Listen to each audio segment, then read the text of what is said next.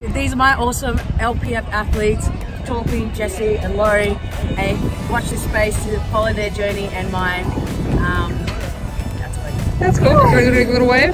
Bye. Oh, beautiful.